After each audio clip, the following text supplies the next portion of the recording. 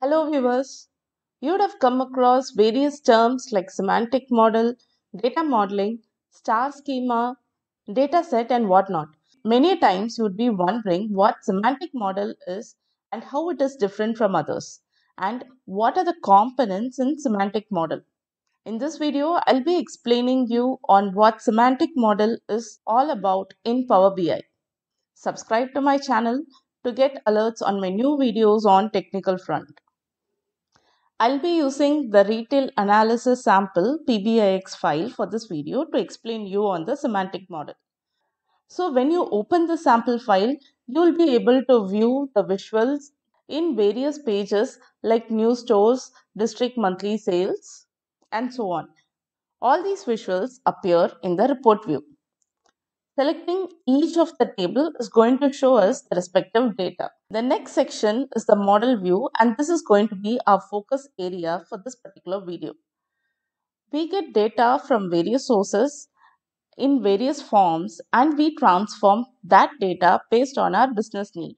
That is, we'll work on the data modeling part where we create a star schema with fact and dimension tables and we create cardinalities between the tables. We also create measures to aid us for the reporting purpose. In the data pane under tables, you will be able to see all the table level details that are involved in the modeling. Rather than just looking at the table level view, I might want to understand it at a very logical level in various categories. You'll be able to see the semantic model category wise, which are the list of the calculated groups, the measures, relationships, tables, and so on. This is what we call as a semantic model in Power BI. So semantic model is basically the data which is organized in a star schema view with fact and dimension tables, the cardinalities, measures that is going to help us with the visualization.